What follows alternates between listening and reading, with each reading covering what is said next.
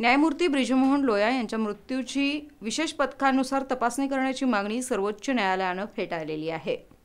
न्यायमूर्ती ब्रिजमोहन लोया यांच्या मृत्यूची विशेष तपास पथकानं चौकशीद्वारे मागणी करण्याची सर्वोच्च न्यायालयानं मागणी फेटाळून लावलेली आहे. या संपूर्ण प्रकरणाचा तपास नागपूर पोलिसांनी केला होता. या निर्णयानंतर नागपूर पोलिसांच्या तपासावर सुप्रीम कोर्टानं एक प्रकारे शिक्कामोर्तब केलाय. या संदर्भात सहपोलीस आयुक्त शिवाजी बोडके यांना समाधान व्यक्त करावं लागलंय.